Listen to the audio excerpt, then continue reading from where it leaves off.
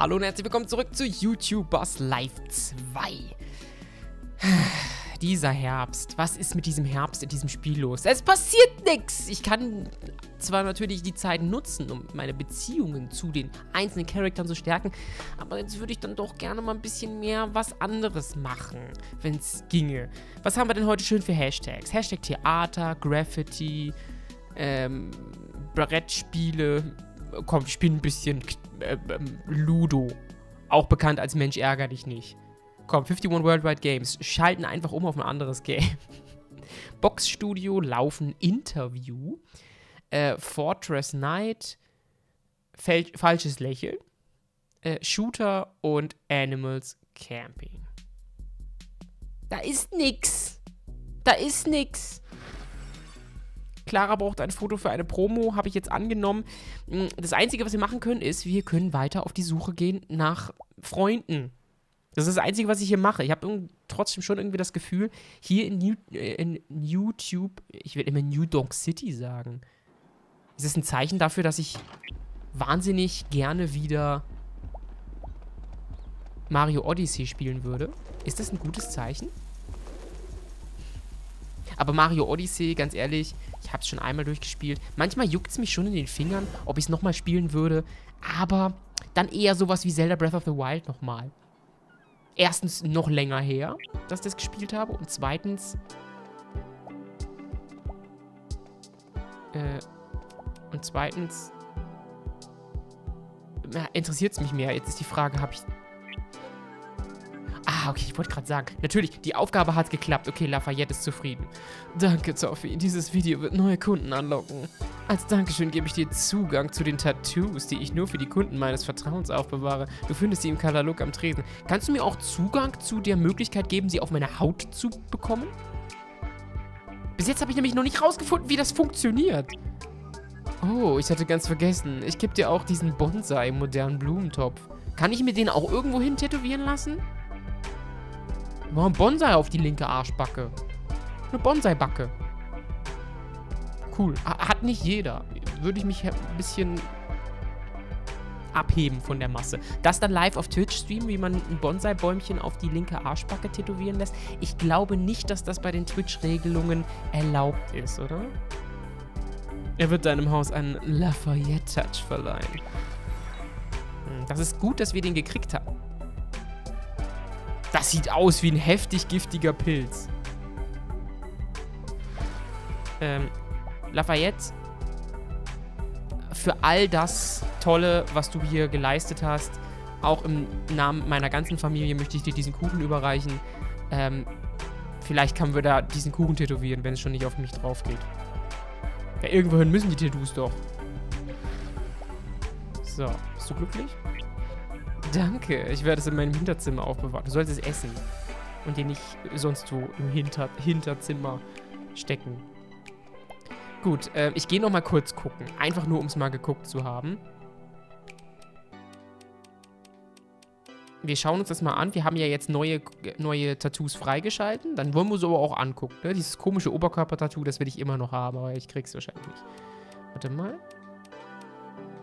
Sind da jetzt noch andere Tattoos? Hier, hier, warte mal, das Kompass-Kopf-Tattoo. Die kannten wir doch schon alle, oder? Das ist jetzt nichts Neues, oder? Ich glaube, da ist tatsächlich nichts Neues. Aber... Hey, du, dieser Bereich ist nicht für Kunden. Ähm, ich habe dir gerade einen Gefallen getan. Ich habe dir einen Kuchen geschenkt.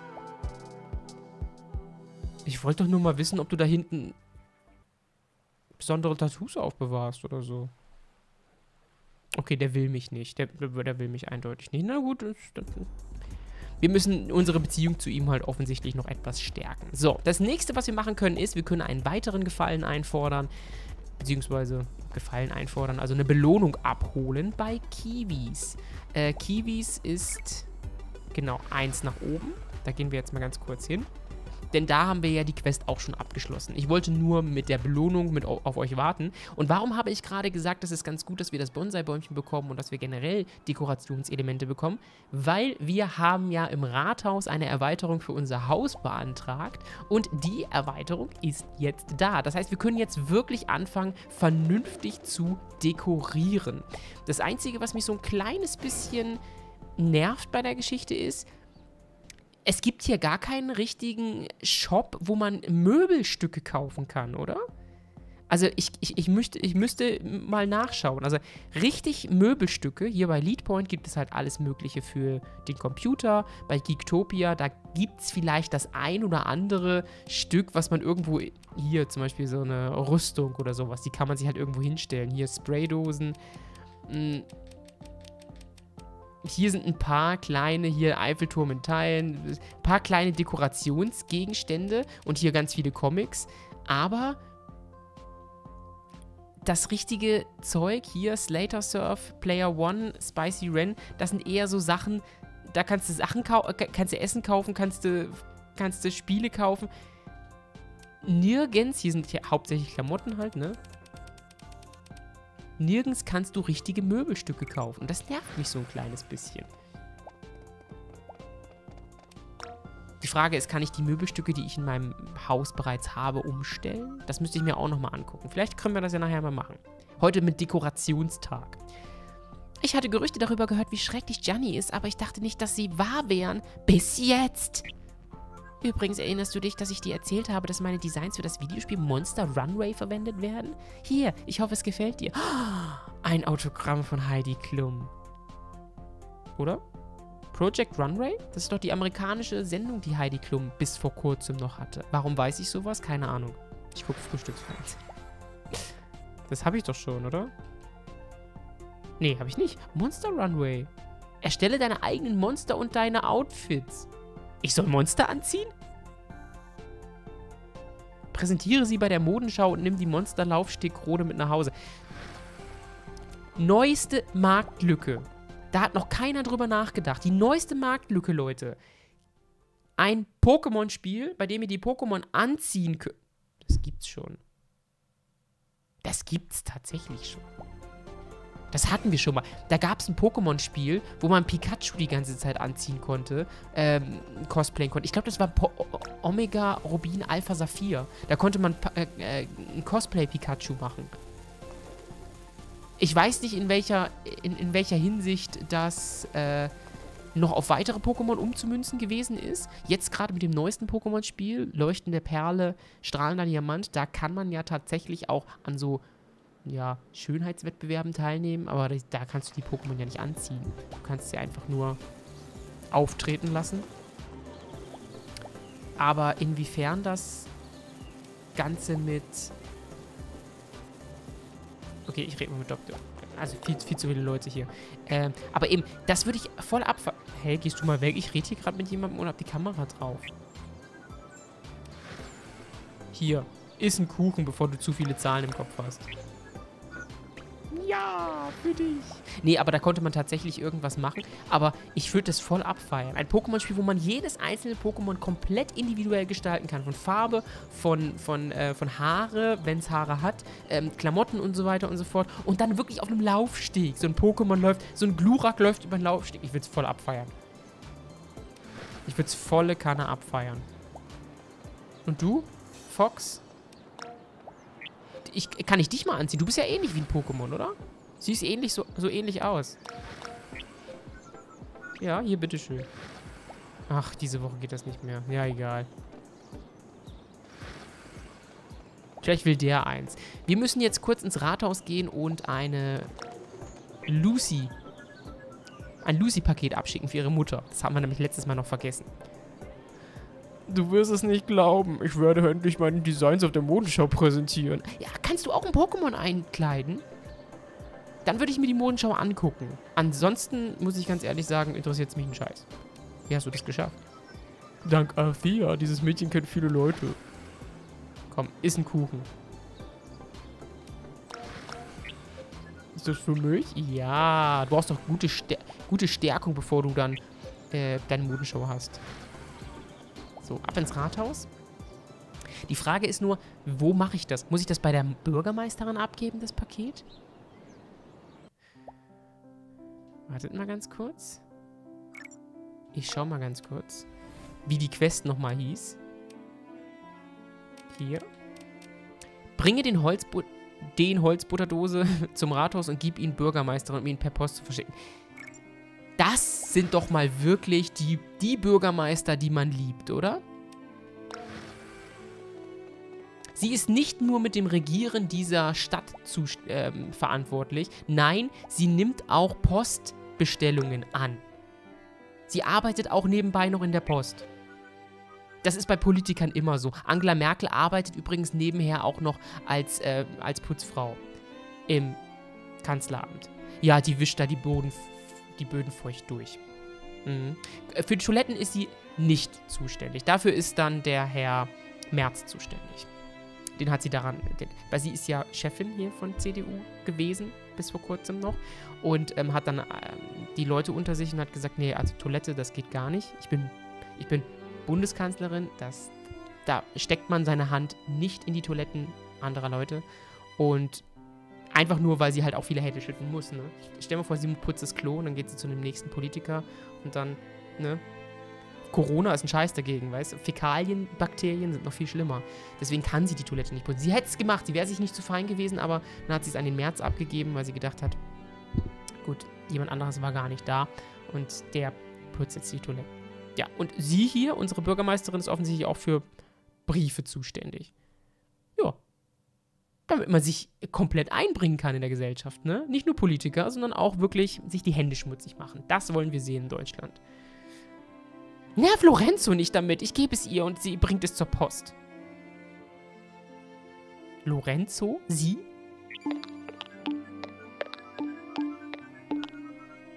Habt ihr es gerade gehört? Bum, bum, bum. Kommen Holzbutterdosen wie wieder in Mode? Ich wusste, dass sich Modetrends immer wiederholen, aber selbst dann?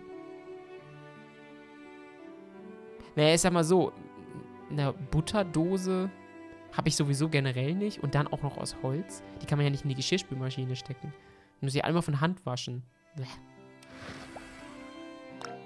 Achso, ja. Äh, unterirdischen Baupläne, da kann ich leider immer noch nicht viel, viel dran machen.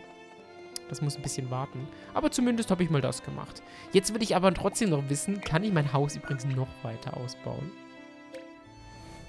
Für 250, ich kann es sogar noch weiter ausbauen, Leute. Alter. War ich knallhart. Ich habe ich hab fast mein gesamtes Geld jetzt ausgegeben in meine Hauserweiterung, aber warum denn nicht? Warum denn nicht? Wir haben zwar nicht genügend Materialien, die wir benutzen können, um unser Haus zu dekorieren, aber in jedes Zimmer ein Poster und fertig ist das Ding. ist schon ein bisschen traurig, ich weiß, aber was, was soll ich machen? Hashtag Theater, das kann ich machen. Video aufnehmen. Warte mal, gibt's, ein, gibt's eine Aufgabe für mich? Mit Hashtag Theater? Nee, oder? Nee, Animals Camping, Lukas Mansion und Box Studio. Ah! Ich könnte zum Box Studio gehen. Das machen wir als nächstes, okay? Gehen wir zum Box Toffee ist doch das perfekte Boxenluder. Nein, bin ich nicht. Ich würde wahnsinnig gern wieder ins Fitnessstudio gehen, privat. Ach, mein Sohn bringt eine Erkältung nach der anderen an. Ich bin jetzt gerade wieder auf dem Weg der Besserung. Also jetzt gerade wieder ist die Erkältung rum. Noch ein bisschen Schleim im Hals. Ich weiß, es ist voll eklig, das jetzt zu sagen, aber es ist tatsächlich so. Ich habe noch ein kleines bisschen, der löst sich gerade. Und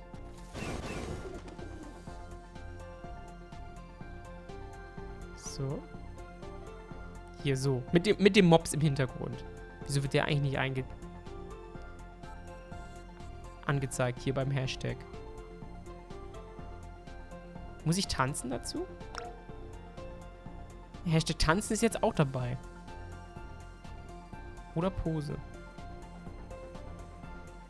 Guck mal, Hashtag tanzen ist immer noch dabei. Obwohl ich schon die Pose auf Pose geändert habe. Auch nicht schlecht, oder? So, versuchen wir es mal. Hashtag verwirrend. Ja, das Spiel hat auch noch ein paar kleine Bugs, ne? Man merkt es immer wieder. Ähm, wie heißt unser Hashtag? Hashtag, guck mal hier, Muschi. Ist immer noch da. Ich habe das einmal eingegeben und habe es extra mit Y geschrieben, damit das Spiel mich nicht verurteilt. Und was macht das Spiel? Es zeigt mir immer wieder ein, guck mal, was du mal eingegeben hast. Das ist doch voll brutal. Hashtag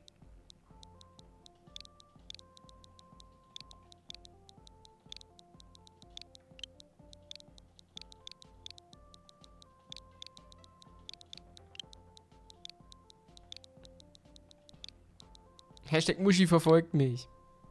Das ist mit Y, das ist voll in Ordnung. Ja, aber ich glaube, es gibt keine 20.000 Likes, oder? Doch, doch, ja, Aufgabe erfüllt. Sehr, sehr schön. Gut, dann geht's wieder nach Hause. Und dann werden wir zu Hause uns um die Dekoration kümmern. Ich will euch noch einen neuen Raum zeigen. Den anderen Raum, den, den ich jetzt gerade in Auftrag gegeben habe, der wird wahrscheinlich noch nicht da sein. Der kommt wahrscheinlich erst am nächsten Tag. Aber der neue Raum ist da und ihr werdet sehen, wir müssen auf jeden Fall was ändern. Hallo?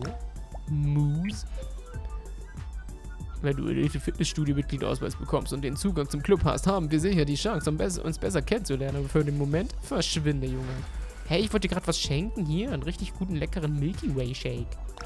Den kannst du doch gebrauchen. Viel Eiweiß für die Muckis. Für Milch? Ja, Eiweiß für die Muckis. Aber nicht draufschütten, sondern trinken. Weißt du, wie viel Kalorien das hat? Baba May, der beleidigt mich. So. Aber sie steht schon wieder. Ih, ih, Alter. Das sieht, das sieht voll eklig aus, Baba May. Setz dich wieder hin. Gut, die ist so lange nicht mehr gelaufen. Das sieht jetzt halt einfach absichtlich so aus, ne? Die ist schon so lange nicht mehr gelaufen. So, wir gucken uns jetzt mal kurz unsere, unser, unsere Räumlichkeiten an. Guck, das ist jetzt der neue Raum. Der Schreibtisch steht auf jeden Fall im Weg. So, das ist der neue Raum hier mit unserem Kleiderschrank. Die Frage ist, können wir jetzt etwas abarbeiten? Wartet mal ganz kurz. Nee, ich will hier... Nein, ich, wo, muss ich hin? Äh, hier, nach links, genau. Also, Möbel hinzufügen. Arbeitsbereich hinzufügen. Guck mal. Alles klar. Wir haben jetzt die Möglichkeit hier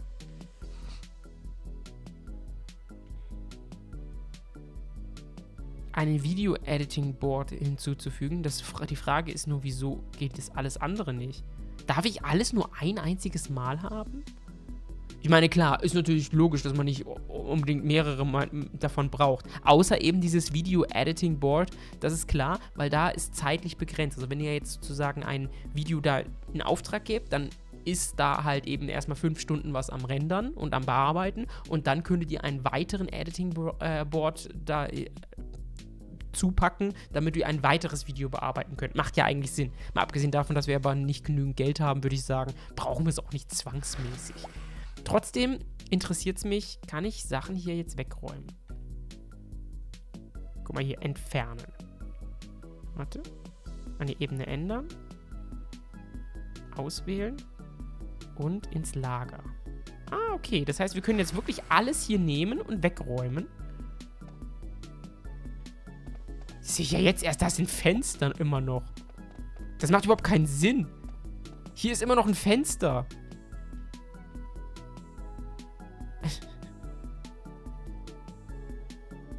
Oder? Ist das ein Fenster? Ins Lager schicken. So. So. So, der, der Schreibtisch muss auf jeden Fall erstmal hier nach da. Das Poster hängt auch halb in der Luft. Ich finde das eigentlich als Gaming-Bereich hier tatsächlich eigentlich ganz cool. Nur ob es unbedingt Lawrence Seasize uns die ganze Zeit da angucken muss, ich weiß ja nicht, ich weiß ja nicht. Auch diesen Bereich würde ich gerne so lassen. Ich finde ihn eigentlich ganz cool. Aber ich glaube, unser Schlafzimmer, ich denke, wir können unser Schlafzimmer nach oben transportieren, oder? Guck mal, das kann ich... Ah, tatsächlich, okay. Ich denke, wir können hier unser Schlafzimmer jetzt langsam mal aufbauen. Da unten ist der Gaming-Bereich und oben ist das Schlafzimmer. Wobei es natürlich irgendwann auch mal gerne ein Wohnzimmer werden könnte. Ne? Wenn wir denn irgendwann mal Möbelstücke haben, die als Wohnzimmer dienen. Aber tatsächlich muss ich sagen, dekorationsmäßig sieht es in diesem Spiel, glaube ich, echt schlecht aus. Ich habe ja gerade eben schon erwähnt, man kriegt halt einfach auch nichts, ne? So. Man kriegt keine wirklichen Möbelstücke in diesem Spiel, also keine wirklichen Möbelstücke in dem Spiel. Ähm. Ebene ändern. Hä? Okay, ich muss erst den. Ich, ich nehme den mal ins Lager. Ich wollte das genau. Das wollte ich halt haben. Nach oben packen.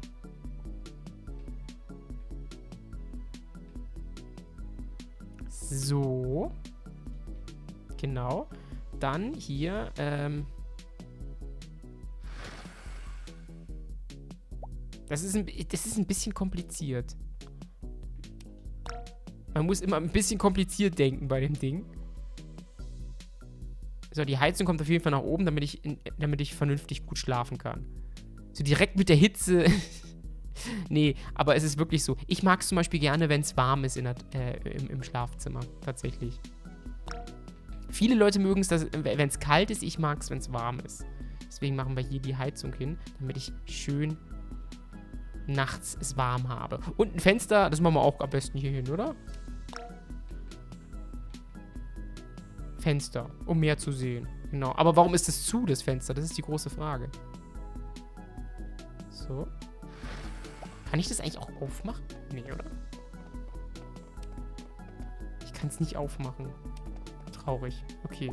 Ja, sieht doch aber jetzt schon mal gar nicht so schlecht aus, oder? Was von den Sachen hier unten könnte ich noch... Guck mal hier, das Surfbrett. Das, das könnte doch auf jeden Fall in unser... In unser Zimmer gehen. Komm. Was interagieren? Ach, ich mache das Licht an und aus. Ich wollte es gerade sagen. Ich kann das Licht an und aus machen. So, ab ins Lager. Hm.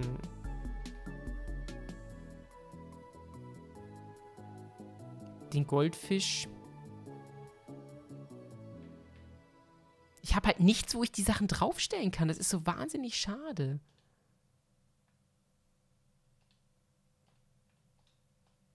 Ich habe echt nichts, wo ich die Sachen draufstellen kann. Das ist total unnütz. So, den Spiegel, den brauchen wir auf jeden Fall auch, wenn, äh, wenn wir halt eben uns anziehen. Eigentlich müssten wir den direkt neben dem Kleiderschrank packen. So. Genau, hier machen wir den Spiegel hin. Hier können wir uns dann immer wieder angucken. So. Schön, oder? Gut. Ja, der Goldfisch. Äh, der, der, keine Ahnung. Ich habe ja keinen ich hab ja keinen äh, keinen Tisch, wo ich es draufstellen kann. Guck mal, wir stellen den Goldfisch direkt unter das Fenster, damit er immer sehen kann, wo er nicht hinkommt. Da sieht er in die Freiheit. Er würde gerne frei dra sein draußen, aber er darf es nicht. Deswegen, wir, wir, wir geben ihm wenigstens die Möglichkeit rauszugucken seine Freunde zu sehen oder sowas. Vielleicht schmeißen wir ihm auch mal ins Handy, ein Handy ins Glas oder sowas. Dann kann er vielleicht auch mal ein paar Freunde anrufen oder so. So, Möbel hinzufügen aus Tasche. Äh, was anderes habe ich nicht. Ich habe noch das Bäumchen, aber kann ich das auf den Schrank stellen? Auch nicht, siehst du? Sollen wir ihm auch noch ein Bäumchen hier neben dran stellen, dem Fisch? Dann hat er so ein bisschen Naturflair. Warum nicht? Gut, aber dann haben wir wenigstens jetzt schon mal ein kleines bisschen, äh, sind wir ein kleines bisschen auf den Gaming, äh, auf den Gaming, auf den Dekorationsaspekt eingegangen. Ich persönlich, wenn ich das jetzt hier so gerade getestet habe, muss sagen, in diesem Spiel gibt es einfach zu wenig Möglichkeiten, sich gestalterisch auszutoben. Vor allen Dingen, wenn man das Intro sieht. Ganz am Anfang, wenn man das Spiel startet, sieht man die ganze Zeit eine, eine, wo habe ich es ins Lager gepackt? Wenn man das Spiel startet, sieht man doch eine, eine Raven, die ganz am Anfang da am Abdancen ist, wenn ihr das Spiel startet. Und das sieht so geil aus, so geil dekoriert, diese Räumlichkeit, die, in der sie da gerade aufnimmt. Und so könnt ihr das aber niemals machen. Ist halt echt so. So. Mhm. Das Lagerraum. Oder zumindest aktuell habe ich nicht das Gefühl, dass man das so machen kann. Und das finde ich schade. Da gibt das Spiel einem, zeigt einem äh, das Spiel einem was, was am Ende gar nicht stimmt. Und das finde ich echt extrem schade. So, das heißt, wir belassen es einfach mal dabei. Ähm, sämtliche andere Sachen, die sich jetzt hier gerade befinden, will ich nicht ins Schlafzimmer packen. Ich finde, das hat keinen Sinn. Ich kann jetzt hier noch, äh, das Einzige, was ich hier noch hinbringen könnte, wäre jetzt, ähm, warte, wäre jetzt das Surfbrett. Das würde ich gerne noch irgendwie hier reinpacken. Hier so als Deko-Element. Aber ansonsten weiß ich nicht, was ich sonst noch machen soll. Vielleicht kommt ja das andere Zeug noch. Gut. Haben wir es wenigstens ein kleines bisschen umgestaltet. Ich bedanke mich fürs Zusehen und hoffe, euch hat dieser kleine Ausflug in den Design-Aspekt von dem Spiel, damit wir das auch mal gemacht haben und gezeigt haben, äh, gefallen. Wenn ja, zeigt es mir doch in Form von einer positiven Bewertung und dann sehen wir uns das nächste Mal, wenn es hoffentlich wieder Events gibt hier in YouTubers Live 2. Bis demnächst. Tschüss.